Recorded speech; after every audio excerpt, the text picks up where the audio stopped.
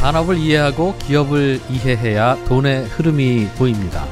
리서치 명가 메리츠증권과 3프로TV가 함께 야심차게 준비한 3프로TV 주식대학 겨울학기 실전 투자 특강. 남보다 한 발 앞서서 유망한 산업을 판단하고 1등 종목을 선정하는 투자의 기본기를 다지는 시간이 될 겁니다. 국내 최고의 애널리스트 21명과 함께 떠나는 2021년 성공 투자를 위한 단 하나의 필수 코스. 지금 바로 신청하세요. 자세한 사항은 페이지 2 공지사항을 확인하세요. 네, 지금 정프로 이 살찐 얼굴이 아, 푸근하다는 분들 계신데요. 뺄 겁니다. 제가 2주간의 그 자가격리 기간 거의 사육 기간에 가까웠습니다, 여러분. 네, 그래서 어쩔 수 없이 어디 돌아다니지도 못하고 집에서 계속 먹는데 안 칠 수가 있겠습니까? 네, 다음 주까지는 아, 원래 모습으로 돌아오도록 하겠습니다. 조금만 기다려 주시면 감사하겠고요. 자, 오늘 아, 예고를 해드린 것처럼 아, 여러분이 진짜 궁금해하실 만한 거 연초 지금 현재 상황에서 어떤 대응이 필요한가 연말은 연말 가서 얘기하고요. 일단 당장 이야기 좀 해보도록 하겠습니다. 미래셋 대우의 우리 에, 이승우 수석 연구원님 모시겠습니다. 어서 오십시오. 안녕하십니까. 네, 반갑습니다. 아, 지금 우리 개인 투자자분들이 많이 올라서 기분이 뭐 썩 나쁘진 않습니다. 괜찮은 상황입니다만 그래도 좀 불안함이 계속해서 있습니다. 네. 그 마음은 충분히 이해하시죠? 어, 그럼요. 예, 많이 오른 것 같고 떨어질 것도 같고 몇몇 악재들도 있는 것 도 같고 아닌 것도 같고 더 갈 것도 같고 여러 불안감들이 막 교차하는 시점이 바로 지금인데 그래서 지금 아, 뭐 멀리 뭐 1년 후까지는 저희가 기대도 안 하겠습니다. 일단 당장 좀 어떻게 될지 그거 좀 얘기 좀 오늘 좀 해주시는 거죠? 네. 네, 그러면 어, 일단 뭐 어떤 얘기부터 좀 저희가 가보면 되겠습니까? 그 원래 오늘 이 시간에는 좀 큰 전망 말씀드리려고 했었던 건데요. 네. 오늘 장중에 시장이 조금 크게 출렁거려서 네, 큰 흐름도 중요한데 지금 단기 대응을 어떻게 하는지가 중요한 것 같아서 조금 급하게 조금 구성을 했고요. 네, 뭐 연초니까 뭐 보통 이제 흔히 출발이 중요하다라는 얘기들을 하는데 네, 그 시점인 것 같아요. 특히 뭐 지난주 코스피 같은 경우는 7점 주간 단위로 7.9% 상승했거든요. 네, 12년 만에 주간 단위 최대 상승폭, 2000년 이후 여섯 번째 주간 단위 최고 상승률. 음, 그랬는데 오늘 장중에 저점 고점이 한 150포인트 이상 움직이면서 네, 시장이 조금 출렁거리고 약간 예민하게 움직일 수 있는 상태여서 네, 진짜 출발이 좀 중요한 시장이다. 지난 3년간도 그랬는데 네. 2018년에는 2018년 초에는 미중 미중 무역 전쟁이 개전되면서 시장이 조금 약세로 출발을 했었죠. 2010 지금 저 비밀 얘기해 주시느라고 조금 작게 말씀 주시는 거죠? 아 크게 얘기해 드리겠습니다. 아, 워낙 이제 이 비밀스러운 얘기이기 때문에 조금 속삭여 주셨는데 아, 방송인 만큼 조금 크게 말씀해 주셔도 좋을 것 같습니다. 약간 마이크 가까이 해 주셔도 더 좋고요. 뭐 2019년도에는 네. 그 중국 경제 급락하면서 네. 시장이 조금 흔들리면서 시작을 했었고 네, 또 지난해에는 다 아시다시피 코로나 때문에 시장이 충격을 받아서 출발을 했습니다. 그래서 이번에는 순조롭게 출발을 해- 해서 더 출, 어, 대응이 좀 중요할 수도 있는 그런 시점인 것 같다라고 보시면 될 것 같고요. 네, 글쎄요, 뭐 외국계 하우스들 같은 경우는 이제 보통 이제 국가에 대한 증시에 대한 그 투자 그 전망을 내놓을 때 네. 보통 이제 투자 의견하고 목표 주가만 제시를 해요. 투자 의견 하고 뭐 사냐 주- 마냐 네, 네. 목표 그렇게 주가 얼마다? 그렇지 그렇게 제시를 하고 네. 근데 국내 하우스들이나 국내 언론 같은 경우는 보통 이제 상고하저냐 상저하고냐 전강 후약이냐 전략 후약이냐 이런 식의 흐름들을 네, 네, 참 네. 좋아합니다. 네. 근데 개인적으로 참 무쓸모하다라고 생각하는 이유가 뭐 주식 투자라는 게 무쓸모하다. 주식 투자라는 게 뭐 마디처럼 1년 단위로 딱 끊어서 하는 게 아니기 때문에 그렇죠. 그 전망이 참 불필요한 접근이다라고 평소에는 생각을 하는데 네. 지금은 좀 중요할 수 있는 시점인 것 같아요. 네, 네, 시장에 네. 앞서 말씀드렸던 것처럼 8% 가까이 상승을 했다가 음. 장중에 150포인트 가까이 출렁거리고 있으니까 네. 지금은 대응이 연초 대응이 대단히 중요한 시점인 것은 맞다라고 말씀을 드릴 수 있을 것 연초 같아요. 대응이 대단히 중요한 시점이다. 그래서 결론부터 말씀드리면 네. 장기적으로는 좋은 것은 부정 안 하셔도 될 것 같다. 장기적으로는 네. 좋다. 다만 단기적으로는 조금 템포 조절을 할 수가 있다라는 점은 염두를 해두셔야 될 것 같고요. 네. 지금 시장이 굉장히 얇은 얼음 위에 위태위태하게 시- 겨우 버티고 있는 그런 시장은 아닌 것 같아요. 그러니까 음. 얼음은 굉장히 좀 단단하고 두껍다라고 보실 수가 있는데 아 그래요? 네. 그러니까 코로나가 정복될 것 같고 네. 경기 정상화는 계속될 것 같고 네. 여기에 정책은 우호적이고 지난 수년간 극심했던 정치 리스크도 이제는 조금 잦아들 것 해소가 같고 좀 됐고. 그래서 얼음은 굉장히 좀 단단해 보인다. 음. 다만 그 단단한 얼음 위에 네. 단기적으로 너무 많은 분들이 올라가 계시고요. 네. 그 얼음 위에 계신 분들 중에서 일부 뛰는 분들도 많이 목격이 되는 게 아 좋은 비유입니다. 지금의 시장 분위기인 것 같아요. 아. 그래서 지금 시장에서 제일 두려워할 거는 그냥 시장 밖에 있는 게 아닌 것 같고요. 네. 시장의 그 상승 속도 그 자체가 제일 음. 좀 걱정해야 될 부분인 것 같다. 네. 상승 속도라고 말씀을 드렸는데 어 뭐 시장 관련한 기술적 지표나 심리 지표 이런 네. 것들은 뭐 거의 쳐다보지 않아도 될 정도로 다 봐야 돼요. 음. 심리 뭐 일부 fundamental 지표 같은 경우도 네. 예를 들어서 뭐 ISM 제조업 지표나 음. macro surprise 지표 같은 경우도 네. peak out 조짐들이 있거든요. 그래서 음. 어 일단 뭐 시장이 그런 지표들에 에 대해서는 조금 부정적으로 반응할 가능성이 조금 있다. 그래서 음. 그렇게 보시면 될 것 같고요. 지금 앞서서 시장에 조금 과열 징후가 있다라고 말씀을 드렸는데요. 네. 어, 지금 시장의 수급 주체들 가운데서 수급의 핵은 개인 투자자거든요. 음. 개인 투자자요. 그래서 오늘도 개인 투자자들이 한 4조 5천 원 정도 순매수 기록을 하면서 시장이 뭐 크게 출렁거리는 거를 막아주는 역할을 하기도 했었는데요. 네. 어, 4조 5천억 원의 순매수면 대단한 겁니다. 대단한 거. 음. 대단한 거고요. 그런데 과거 흐름하고 조금 비교를 해서 살펴보면 네. 과거 코스피 우리 증시에서의 고점은 항상 투시권이 만들었었어요. 차트 한번 보시겠는데요. 네. 이 차트 보시면서 잠깐만 네. 어, 우리 시청자분들이 좀 놓치셨을지 몰라서 이 좋은 비율을 지금 많은 분들이 이게 살얼음판 같다는 생각들을 많이 하실 텐데 얼음이 얇은 게 아니고 얼음은 충분히 두꺼운데 너무나 많은 사람들이 올라서 있고 그 얼음 위에서 마구 뛰는 사람들이 있어서 그게 좀 위험하다 이 말씀이셨죠? 네, 그렇습니다. 네. 자, 차트 그럼 한번 차트- 보시면은 네. 이게 2006년도부터 현재까지의 차트인데요. 과거 증시의 고점을 항상 투신권 순매수가 끌어올리면서 시장의 그 버블과 피크아웃을 만들었어요. 투신권 순매수. 네. 투신권의 순매수라는 건 쉽게 말하면 주식형 펀드 쪽인 거죠. 주식형 펀드. 네, 주식형 펀드. 네. 네. 근데 뭐 아시겠습니다만 주식형 펀드라는 거는 네. 내가 직접 매매하는 개인 위탁 계좌나 그런 직접 매매 계좌보다는 시장에 대한 민감도나 즉식성, 반응성 혹은 이해도가 조금 떨어지는 성격의 자금들이에요. 주식형 펀드가요? 예. 그럴 수 있죠. 음. 그러니까 보통 이제 증권사 창구 통해서 가입을 하기도 합니다만 은행 창구에서 펀드 가입해 주세요라고 하시는 분들도 있고 네. 보험 들어놨던 게 일부 주식형 펀드로 들어가기도 하는 거니까요. 네. 직접 매매 계좌보다는 그 시장에 대한 이해도나 반응도, 민감도가 다 떨어지는 조금은 떨어진다라고 보실 수가 있고요. 음. 흔히 말해서 이제 시장이 좋다라고 했을 때 아, 나도 주식형 펀드 해볼까라고 하는 성격의 자금들이 있었다라고 보실 수가 있어요. 네, 네.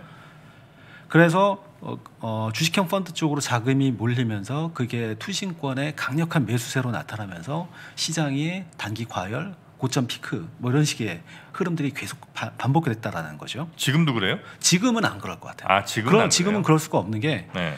주식형 공모 펀드 시장이 굉장히 많이 위축이 됐기 때문에 거기 있던 돈 다 빼서 직접 투자하시잖아요. 네. 그러니까 네. 그 약발이 지금 투신권의 총알이 없는 것이고요. 네. 그래서 지금 드는 생각은 과거에는 투신권의 매수가 시장의 고점을 만들었다면 음. 지금은 투신권의 매수가 지금은 개인의 위탁 매매로 단순 치환이 되는 그런 상태거든요. 아. 그래서 앞서서 개인들의 매수세가 굉장히 폭발적이다. 네. 4조 5천 원을 샀다. 그리고 시장의 그 흐름을 주도하고 있다라고 말씀을 드린 건데 네. 과거 10년 전에 봤던 투신권의 매수세가 지금은 동학개미로 나타나고 있는 거다. 아, 개인 투자자들이 직접 하고 있- 있다. 예. 그런데 이 개인들의 매매에서 최근에 일부 흥분 조짐이 조금 많이 보이고 있는 것 같아요. 흥분 조짐들. 그래서 앞서서 어 뭐 기술적 지표, 심리 지표, 뭐 펀더멘탈 지표 이렇게 어렵게 얘기할 필요 없이 우리 실생활에서 느낄 수 있는 부분들이 많잖아요. 네.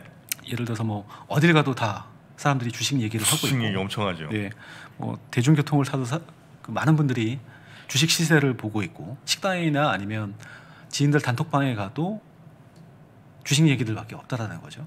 아, 그래서 굉장히 조금 많이 주식 시장이 시장을 과연 약간 단기 흥분해 있는 조짐들을 보여주는 지표들이 실생활에서 굉장히 많이 있는 그런 상태고요. 제가 이제 자주 가는 그 홍대 쪽에 뭐 건물이 있는데요.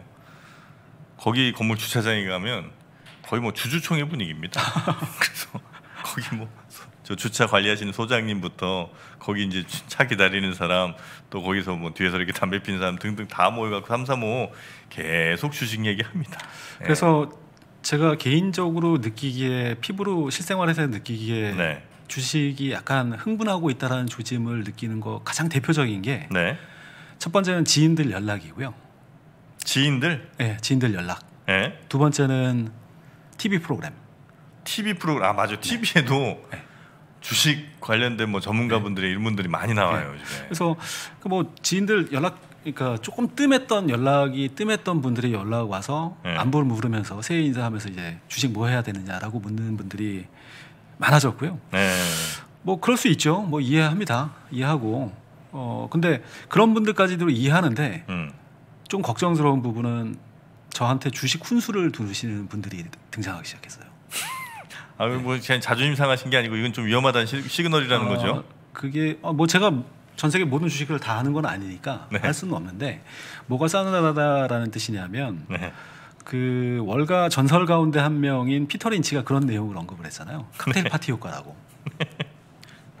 칵테일 파티에 갔는데 네. 시장이 안 좋을 때는 전혀 자기한테는 인기가 없고 음. 시장이 좋기 좋아지기 시작하면 자기 주변에 사람들이 많이 몰리고 맞아요. 그보다 더 과열이 되면 주변에 있는 분들 중에서 펀드 매니저인 자신한테 주식을 추천한 사람들이 등장하기 시작하다라는 거죠. 그래서 개인적으로 이 경험을 최근에 조금 하고 있는 그런 상태고요. 네. 약간 약간 등골이 서늘해지는 것을 조금 느꼈어요.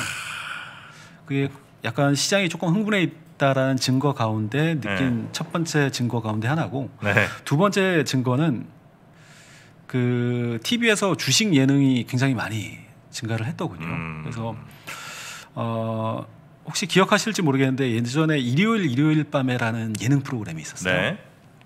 화면을 한번 보시는데요. 네. 그 일요일 일요일 밤에라는 예능 코너에서 금융위기 전에 네. 코너를 하나 마련을 해서 무슨 경제 코너였죠? 예 경제 관련 코너를 마련을 해서 네. 그 코너에서 주식형 펀드를 설명을 하고 주식 얘기를 하고 중국 펀드를 하고 했던 프로그램이 있었어요.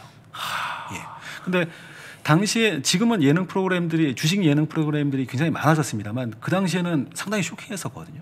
음. 그러니까 예능 프로그램이고 기본적으로 주말 황금 시간대에 주식형 펀드를 설명하는 코너였었어요. 뭐 음. 당시에는 뭐 저도 굉장히 재밌게 봤었는데 네, 네. 돌아보고 나니 아 이게 어떻게 보면 버블의 한 징후였구나라고 느끼게 되는 계기가 있었다라는 거죠. 아, 그럼- 요즘에 그럼- 진짜 예능 네. 프로 많은데. 그래서 연말 연초에 이제 시간이 조금 나니까 네. TV를 이렇게 쭉 보면 주식 예능이 굉장히 많아졌어요. 그러니까 기본적으로 채널 수가 많아진 영향도 있을 거고 네. 또 방송사라는 곳이 기본적으로 시청률이 굉장히 중요하니까 네. 대중들이 관심을 가질 만한 콘텐츠를 만들어야 되잖아요. 그게 음. 뭘까라고 하는 거가 결부된 것 같아요. 물론 이제 그 그게 이제 어떤 효과를 주느냐인데 네. 어 예능 프로그램에서 주식을 다룬다라는 게 대중들의 주식에 대한 이해를 높이고 그게 자금 선순환으로 이어지는 긍정적인 효과들은 있을 거예요. 네. 근데 반면에 이제 개인 투자자들의 지나친 흥분이나 과열로 부분적으로 연결될 가능성이 음. 있다라는 부정적 효과도 있다라는 거죠. 네. 그래서 네.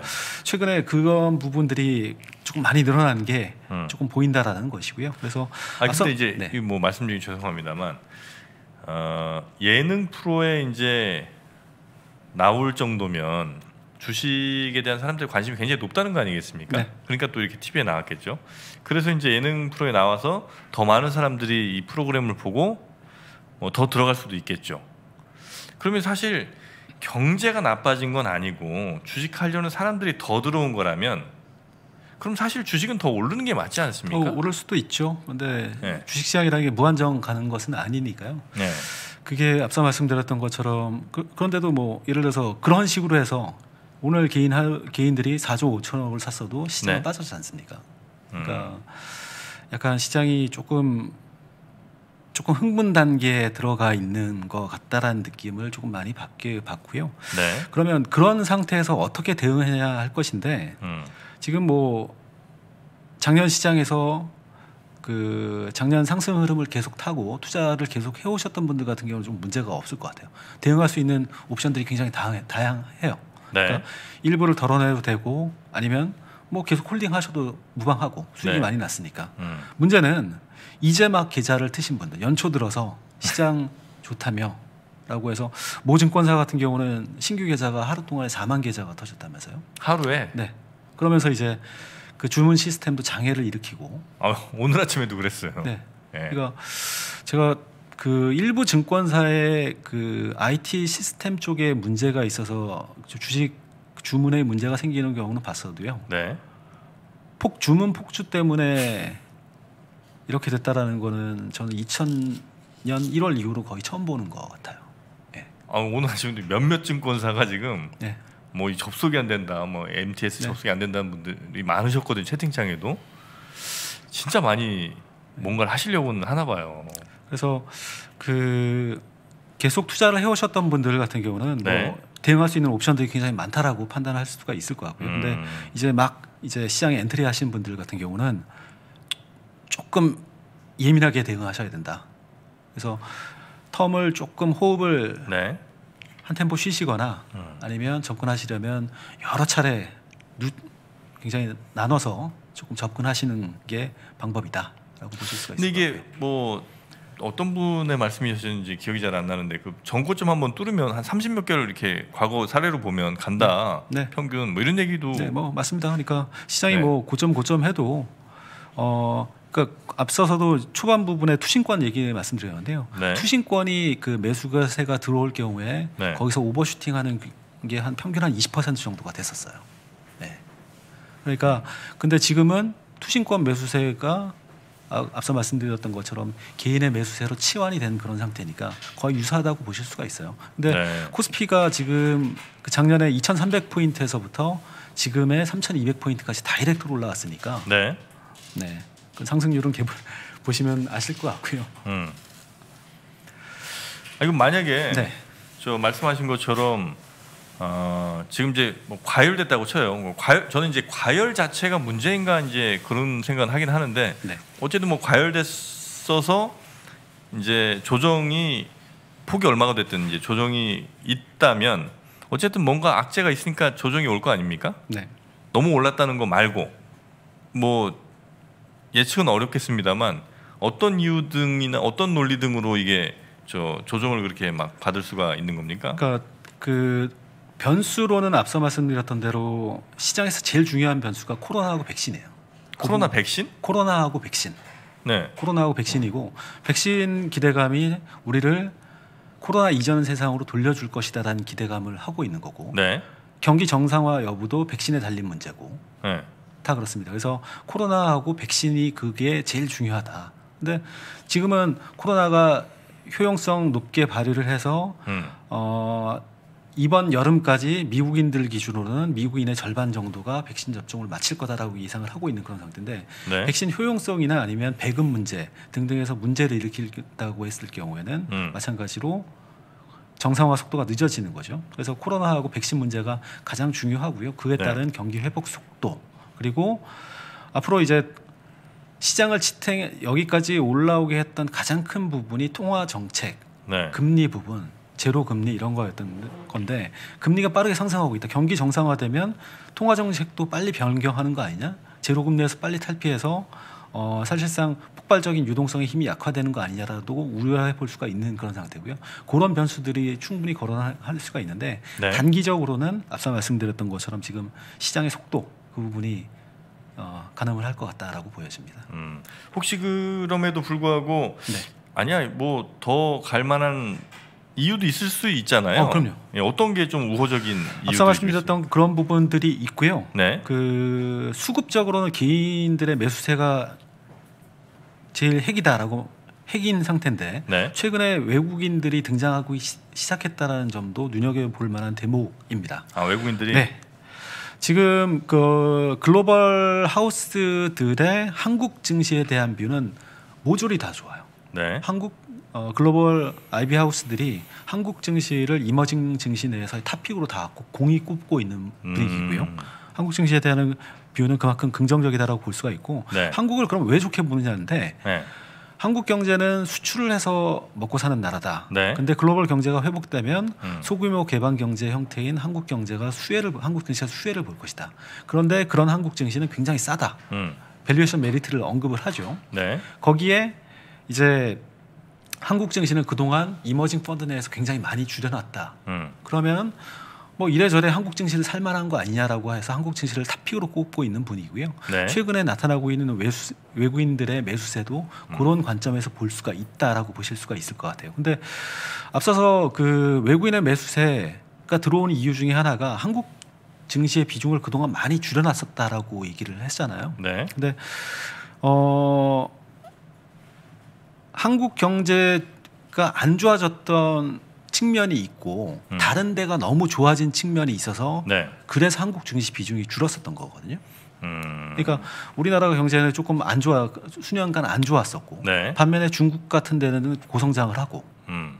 근데 혹자들은 한국 경 그 이머징 펀드 내에서의 한국 비중을 중국이나 대만이 많이 뺏어 뺏어 갔다라고 얘기들을 많이를 하세요. 네, 네, 네, 네. 뭐 당연히 그럴 수가 있다라고 그럴 수 있을 것처럼 보이잖아요. 근데 음. 실상은 그렇지가 않아요. 실상은 한국 증시의 weight를 가장 많이 뺏어간 곳은 인도였었어요. 인도요? 예, 인도였었어요. 인도가 우리랑 경쟁하지는 않지 않습니까?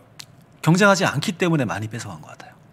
왜냐하면 그 서구 외국인들의 시각에서는 네. 한국이나 중국이나 대만이나 성격이 비슷한 시장처럼 보일 수가 있다라는 네. 어, 성격이 비슷한 시장을 다 놔둘 필요가 있느냐. 그 가운데서 안 좋은 것을 하나 친 게 아마 한국일 가능성이 있어요. 아. 그리고 나서 인도는 세계 1위의 인구를 가진 나라고 네, 네, 네. 거기에 포스트 차이나의 지위를 물려받을 수 있을 것 같은 성격을 또 풍겼고 음. 그러면 성격이 비슷한 곳에서 하나 줄여서 네. 인도를 늘리자라고 했을 움직임들이 있다라는 거죠. 네, 그런데 네, 네, 네. 그렇게 늘어났던 인도가 작년에 코로나의 직격탄을 받았죠. 음. 코로나 타격 받으면서 인도 GDP 마이너스 7.8% 네. 기록할 것으로 예상이 되고 있는 그런 상태고 그리고 그렇게 무럭무럭 자라날 것 같았던 인도 경제가 post China의 지위를 물려받기에는 음. 그 한계가 좀 보이는 것 같아요 최근에. 음. 네. 아, 그런 이유가 있군요. 그러면- 인도는 뭐 굉장히 새롭네요. 네, 그래서 한국의 weight를 많이 뺏어갔던 인도가 망가지면서 한국 증시가 다시 한국 증시의 비중이 다시 원복될 가능성이 조금 있고요. 네. 그러면 그거는 다른 데가 안 좋아져서 우리나라 웨이트가 늘어나는 측면이고요. 그러면 그게 다냐? 네. 한국 경제가 잘하는 부분들도 조금 있는 것 같아요. 음. 왜냐하면 네. 기억하시겠습니다만 그 2009년, 2010년 이럴 때 해- 해외 투자가들 만나 보면 한국 증시가 제일 좋다고 얘기했었어요. 어, 좀왜 그런가요? 하고 저 오히려 대- 제가 되묻기도 했었는데 네. 니네는 반도체, 핸드폰, LCD, 조선이 다 1위지 않느냐. 음. 거기에 화, 화학, 철강 가지고 있고 자동차도 5위고 네. 작지만 어, 엔터테인먼트하고 화장품도 잘하는 국가 산업 포트폴리오가 굉장히 섹시한 나라다. 음. 그래서 이머징 내에서 한국이 제일 좋다라고 얘기를 했었어요. 네. 그랬던 한국이 최근 4, 5년간 급속도로 망가졌었죠. 음. 핸드폰 같은 경우는 그 포화 상태고 네. 애플한테 밀리고 화웨이한테 밀리고 고가는 애플한테 네. 밀리고 중저가는 뭐 중국 LCD는. 뭐 우리나라 LCD뿐만 아니라 전 세계 뭐 LCD 업체들이 다 돈을 다못 중국에 버니까 밀리고. 거기에 이제 자동차도 마찬가지 넛크래커 신서였었고 조선 업주 업황은 여전히 포화 상태였었고 네.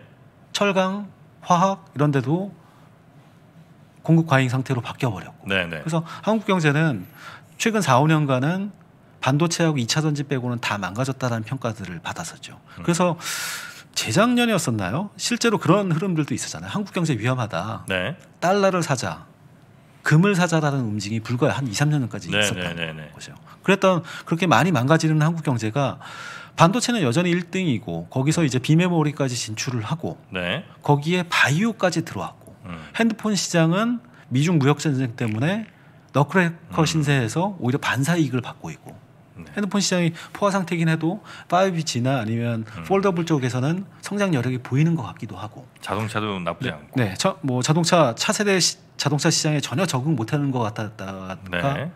전기차도 차- 그런 데서 잘 적응하고 있고 수소차도 대비가 돼 있고 네. 조선 철강 화학은 바닥 이미 쳤고 음. 거기에 새롭게 가세한 업황이 업종이 바이오 업종이고 네. 그래서 국가 산업 포트폴리오가 미래 성장을 이끌 만하게 다시금 섹시해지고 있다라는 게 음. 외국인의 최근 매수 배경일 수 있다. 단순히 인도 경제가 막가- 망가져서 네. 그런 걸 반사 이익을 보는 것이 아니라 네. 한국 경제의 미래 성장 동력이 다시 강해지고 있다라는 게 외국인의 매수 배경일 수 있다. 음. 자 그러면 네. 진짜 이제 여러분이 궁금해하실 그리고 저도 궁금할 고 빨리 좀 여쭤보겠습니다. 어쨌든 한국은 괜찮잖아요, 그죠? 네. 그래서 어떻게든 다시 올라갈 것 같은 느낌이 이제 들은단 말이죠. 말씀 듣고 보니까 조정을 좀 받더라도 그럼 이제 조정이 올때 어, 지금 이제 아예 뭐 작년 3월쯤 사신 분들이야 뭐 별 걱정 없이 그냥 조정 넘기실 수 있겠습니다만 지금 들어오신 분들이 아니면 연말 들어오신 분들은 조금 이제 비싸게 들어오셨을 거 아닙니까? 네. 그럼 이제 뭐 몇 월이 될지 모르겠습니다만 조정이 뭐 온다. 오면 이제 올 때 잘 사든지 아니면 오기 전에 팔든지 해야 될 거 아닙니까? 네. 그 일단은 네. 그 매수 시점은 조정 폭이 아주 매력적인 구간에 올 만큼 리스크가 세게 작용하지는 않을 것 같아요. 리스크들의 파괴력이 크지, 크지 않을 것 같고요. 조정폭이 크지 않다는 겁니까? 네, 그 조정폭이 크지 않을 것 같고요. 그래서 앞서서도 근데 다만 시장에 조금 쉴 것 같고 변동성도 클것 같고 하니 장중에 150 포인트 플러스 150 포인트 사는 것보다는 네. 싸게 사는 게 낫거든요. 네. 그러니까 여러 차례 조금 나눠서 사시거나 살 수 있는 대상은 앞서서도 지금 개인들도 사고 있고 외국인들도 돌아설 조짐이고 네. 근데 외국인들이 만약에 한국 증시에 다시 돌아오게 되면 음. 소형주 살까요? 아니거든요. 대형주, 핵심 대형 우량주 삽니다. 음. 반도체 사고, 2차 전지 사고, 자동차 뭐 그리고 바이오 이 플랫폼 기업들 일부 사겠죠. 그러니까 만약에 네. 새로 시장에 entry 하시려고 하시는 분들은 네. 그런 쪽에 외국인들이 선호할 만한 종목 음. 쪽에 포커스를 맞추는 게 한 방법일 수 있을 것 같아요. 네. 그러면 이게 이제 조정이 뭐 하루에 확 왔다가 쭉 올라가 이러지는 않을 거 아니에요. 네. 왔다가 없습니다. 올라가는가 네. 싶더니 다시 네. 떨어지고 뭐 이런 식으로 갈 거 아닙니까? 그럼 떨어질 때마다 사는 게 나아요? 아니면 좀 떨어질 만큼 좀 떨어진 것 같다는 느낌이 들고 약간 올라가는 것 같은 느낌이 들 때 그때 사는 게 낫습니까? 그뭐 개인마다 투자 스타일이 다르고 다르기 네. 때문에 천편일률적으로 얘기할 수는 없는데요. 그렇죠. 저 같은 경우는 후자의 케이스, 아, 저 전자의 케이스요. 전자에 네, 떨어질, 때 마다 네, 떨어질 때마다. 아 장기적인 상승을 내가 네. 믿는다면 떨어질 때마다 사는 네. 게 왜냐면 올라가는 시점에 그 이게 참 어려운 게 떨어질 때 살려니 더 떨어질까 당연히 이제 걱정이 네. 되고요. 올라갈 때 살려니 어제 가격이 생각나서 자꾸 사이가 좀 늦어져 된단 말이죠.